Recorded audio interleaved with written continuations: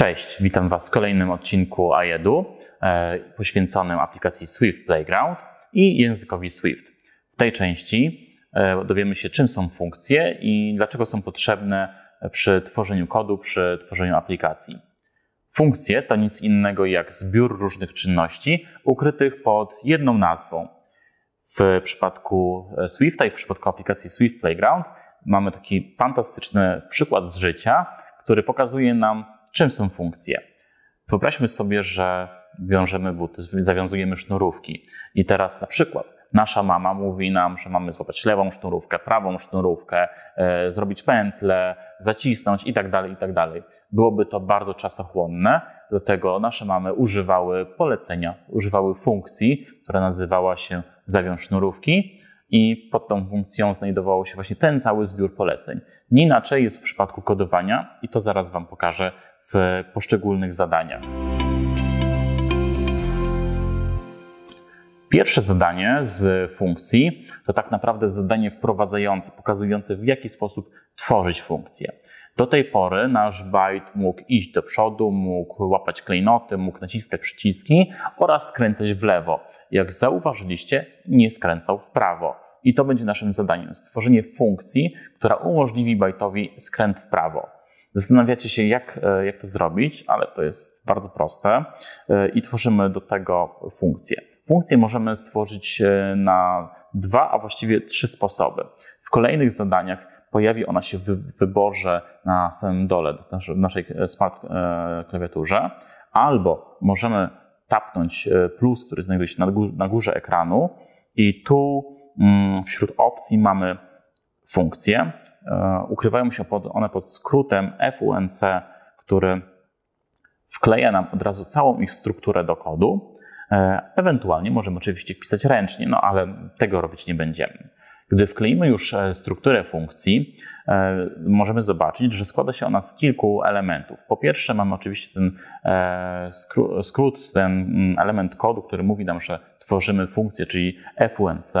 Następnie mamy jej nazwę i nazwy funkcji są bardzo ważne, ponieważ nazwa funkcji powinna odzwierciedlać to, co ta funkcja tak naprawdę robi. To znaczy, że jeżeli uczymy bajta skręcać w prawo, nazwijmy naszą funkcję po prostu prawo. Bardzo ważne jest też to, by nazwy funkcji nie zawierały polskich znaków, ponieważ one później brużdżą nam bardzo w kodzie i powodują, że te funkcje mogą przestać działać. Jak zauważycie, każda nazwa funkcji kończy się okrągłym nawiasem i musicie pilnować tego, by te nawiasy zawsze były zamknięte. Następnie otwierają się wąsy, czyli, e, czyli takie klamerki i pomiędzy tymi wąsami umieszczamy e, function body, czyli e, umieszczamy wszystkie elementy funkcji, które są potrzebne naszemu bajtowi do wykonania zadania. Tak jak powiedziałem, musimy skręcić w prawo.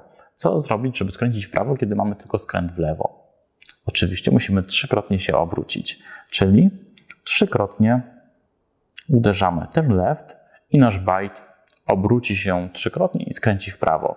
Jeżeli teraz nacisnęlibyście Run My Code, nic by się nie stało, ponieważ musimy odnieść się do naszej funkcji. Musimy powiedzieć byte'owi, że mają wykonać. Jak to zrobić? Ok, zacznijmy wykonywać nasze zadanie. Na początku byte ma zrobić trzy kroki do przodu, czyli po prostu naciskamy trzy razy move forward, a następnie musimy odnieść się do naszej funkcji, czyli powiedzieć byte'owi, by ją wykonał. E, w tym zadaniu nazwa naszej funkcji nie wyświetla się w e, zbiorze naszych e, komend, ale w kolejnych już tak będzie, więc będzie to bardzo upraszczało sprawę, ale musimy przećwiczyć wpisywanie nazwy funkcji ręcznie. Dlatego rozwijamy klawiaturę, rozwijamy ją za pomocą przycisku takiej strzałki do góry, który znajduje się w dolnym prawym rogu i wpisujemy nazwę funkcji. W moim przypadku było to słowo w prawo. E, I to, co jest ważne, jeżeli wpisaliście nazwę waszej funkcji, pojawiła wam się czerwona kropka. Mówi ona o tym, że nastąpił błąd, że coś jest nie tak. Otóż nazwa funkcji, do której się odnosicie, podobnie jak na początku, musi kończyć się okrągłym nawiasem. Ja tu dodam okrągły nawias. Swift Playground jest o tyle przyjemną aplikacją, że od razu zamyka te nawiasy, więc e, nie powinniście się pogubić z nimi. I możemy przystąpić do kolejnych, kolejnych komend, czyli w tym przypadku trzy kroki do przodu i oczywiście collect gem.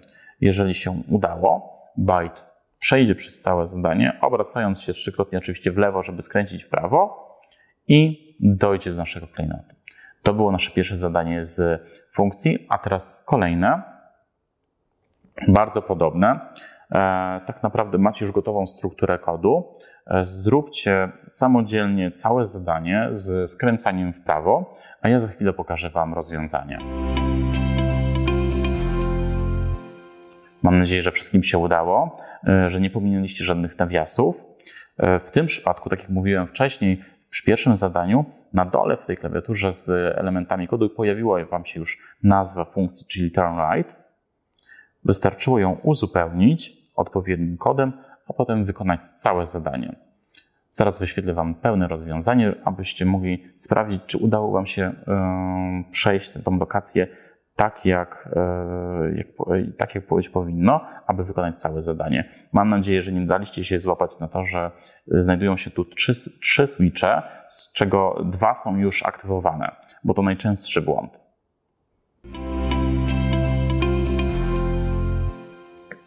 Trzecie zadanie z funkcji. Tu już mm, będzie trochę trudniej. Polega ono na tym, aby stworzyć funkcję, która będzie wykonywała jakieś powtarzające się elementy. Waszym zadaniem jest przyjrzeć się tej lokacji i odnaleźć schemat. Schemat, który się będzie powtarzał i który wykorzystacie do tego, by w bardzo prosty i szybki sposób rozwiązać całe zadanie. Jeżeli przypatrzycie się tej lokacji, od razu Wam się skojarzy ona oczywiście z czterema bokami kwadratu, jednak nie jest to kwadrat, jest to prostokąt, co jest takim lekkim haczykiem w tym przypadku. A Waszym zadaniem będzie stworzyć taką funkcję, która będzie pokonywała jeden z tych e, boków. Jak to zrobić? Oczywiście mamy już gotową strukturę funkcji i tu musimy dodać jej nazwę. Pozostawiam to już Wam do, e, do wybrania. Oraz w, e, w, jakby w strukturze funkcji, w jej mm, właściwym, właściwym elemencie, czyli miejscu, w którym wpisujemy poszczególne czynności, musimy umieścić zestaw komend, które pozwolą byte'owi zrobić krok do przodu, złapać switch nacisnąć przycisk i zrobić kolejny krok do przodu. I tak naprawdę waszym zadaniem będzie później wybranie w odpowiedniej kolejności takiej ilości e, nazw tej funkcji przeplatanej poszczególnymi komendami, aby byte pokonał całe zadanie, e, aby byte pokonał całą lokację i zdobył wszystkie klejnoty oraz nacisnął wszystkie przyciski. Spróbujcie sami, a ja za chwilę pokażę wam pełne rozwiązanie.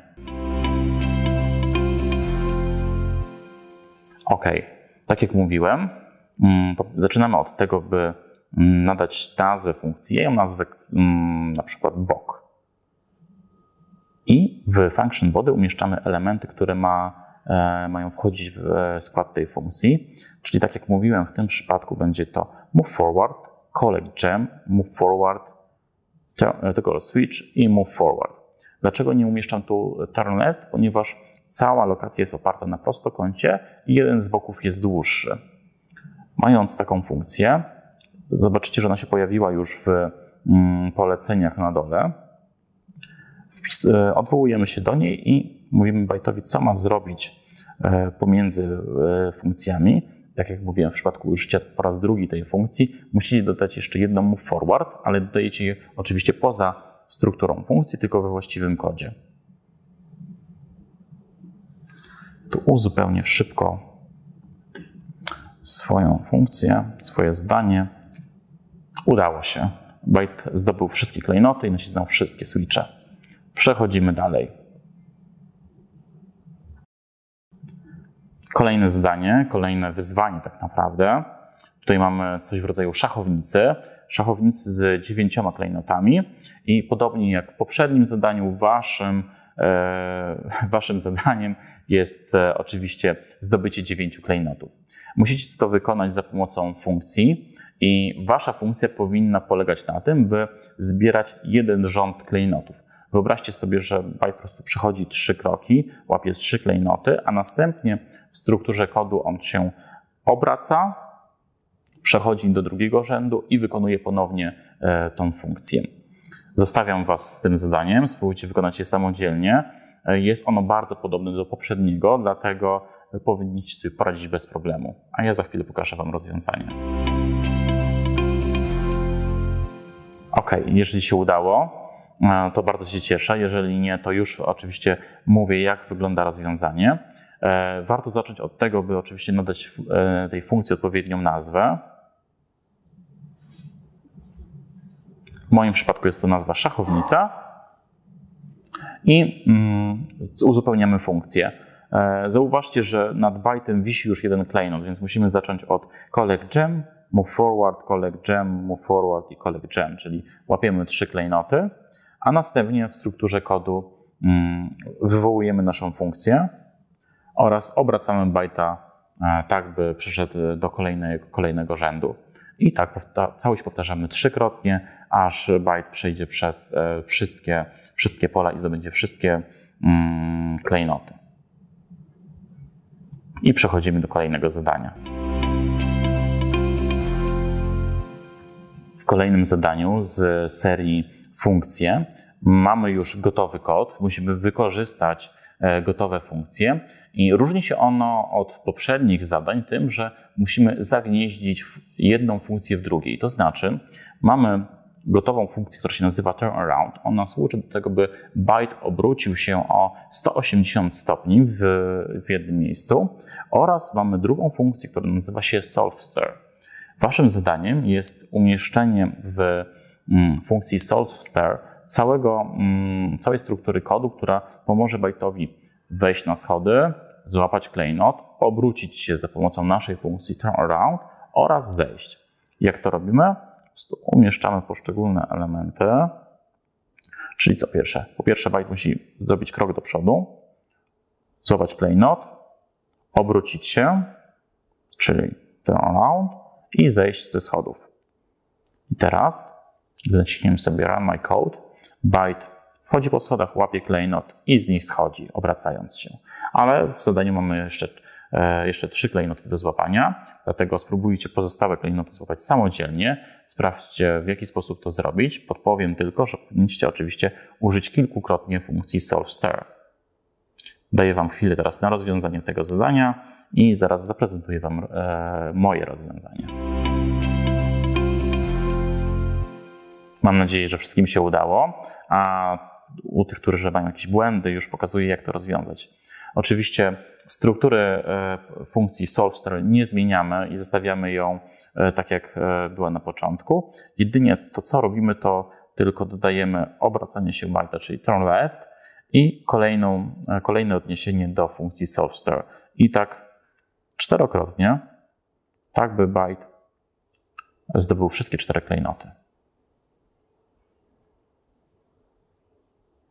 Udało się i mam nadzieję, że Wam także. Na dole znajdziecie oczywiście kolejny odcinek dotyczący funkcji i przechodzimy już do niego.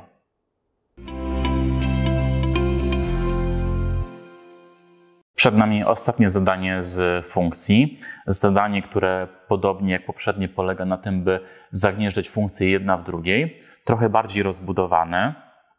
W tym zadaniu musicie złapać aż 6 klejnotów, a dodatkowo mamy polecenia, które każą nam wchodzić i schodzić ze, sto, ze schodów e, trochę dłuższych, łapać klejnoty i przemieszczać się pomiędzy nimi.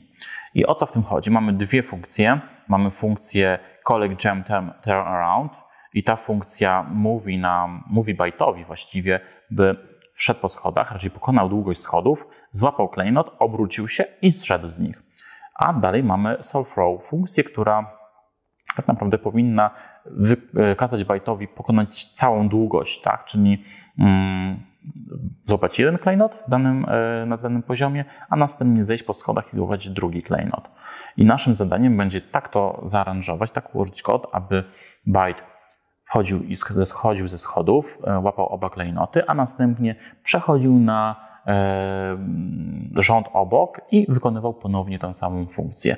Dlatego solve row będzie się składało z dwóch collect gem turn around, a następnie przejścia na prawo. Czyli byte, byte, kiedy wróci na środkowy element, tam gdzie jest strzałeczka w danej lokacji, musi się obrócić w prawo, czyli szukamy w naszym kodzie turn right i ustawić się ponownie w kierunku e, klejnotu, czyli na przykład będzie to turn left. E, a pomiędzy oczywiście nie zapomnijmy dodać przejścia na ten dodatkowy, na ten dodatkową linię, ten dodatkowy rząd, czyli move forward. W ten sposób w funkcji solve flow mamy rozwiązanie całego rzędu oraz przejście do kolejnego. I waszym zadaniem będzie teraz uzupełnić kod właściwy, tak by byte zdobył wszystkie sześć e, klejnotów. Spróbujcie zrobić to samodzielnie, a ja zaraz pokażę wam e, rozwiązanie. Rozwiązanie oczywiście jak zawsze jest banalnie proste. E, musimy tylko i wyłącznie dodać trzykrotnie naszą funkcję solve e, Ta funkcja, dzięki temu, że wcześniej w jej strukturze dodaliśmy też przechodzenie bajta na, e, do drugiego rzędu, umożliwia nam, umożliwia nam po prostu bardzo szybkie pokonanie wszystkich, wszystkich schodów i złapanie wszystkich sześciu klejnotów. U mnie jest wszystko ok. Przyjrzyjcie się temu rozwiązaniu. Zagnieżdżanie funkcji w funkcję jest o tyle ważne, e, że mm, ułatwia później tworzenie zoptymalizowanego kodu. E, dzięki temu możecie podzielić całe zadanie na poszczególne elementy, na poszczególne e, mikro mm, i w ten sposób sprawniej rozwiązać bardzo rozbudowane, mm, rozbudowane challenge.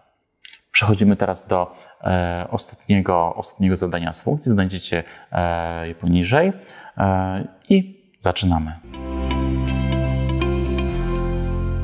Przed nami ostatnie zadanie z funkcji w ramach naszego bloku w Swift Playground.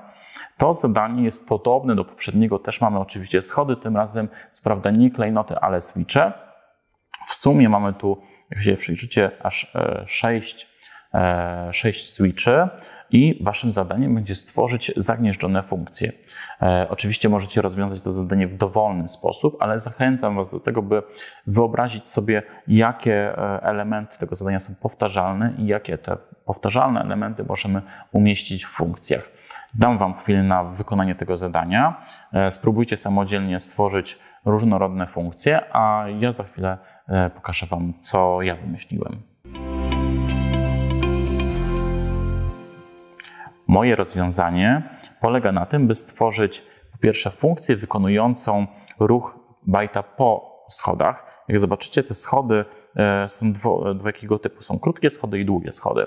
Ale długie schody składają się z dwóch e, tak naprawdę funkcji, z dwóch e, tych samych czynności, które wykonuje bajt na krótkich schodach. I tu dodaję pierwszą funkcję, którą nazwam, na, na którą nazwę krótkie schody.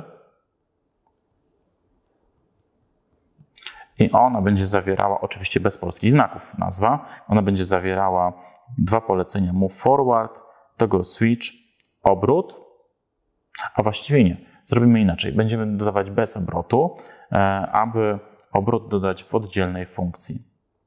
Czyli tworzę oddzielną funkcję, dodaję jej nazwę obrót i tu będzie dwukrotny turn left. I teraz stworzę trzecią funkcję, która będzie odpowiadała za długie schody. I tak jak mówiłem, e, długie schody, długie schody to tak naprawdę dwa razy krótkie schody, więc po prostu w tej funkcji zagnieżdżę mm, polecenie, dwa polecenia wykonania krótkich schodów, czyli dwa kroki do przodu, toggle switch, dwa kroki do przodu, toggle switch. I tak naprawdę budujemy całą strukturę kodu naszego. E, I tu powinniśmy jeszcze mm, wymyślić może sobie funkcję powrotu, tak aby byte e, nie wpisywać bardzo dużo forward, tak, bo w przypadku długich schodów będzie to aż e, cztery polecenia move forward, a jeżeli stworzymy funkcję mm, powrotu, to możemy te wszystkie move forward w niej umieścić i e, wykonamy szybciej to zadanie. I teraz tak naprawdę operujemy tylko funkcjami, czyli wykonujemy krótkie schody, obrót, powrót, krótkie schody, obrót, powrót i tu obracamy się w kierunku długich, długich schodów, czyli turn left, polecenie długie schody, obrót, dwa powroty i długie schody. I cały zestaw takich poleceń składający się z funkcji powinien nam rozwiązać całe zadanie.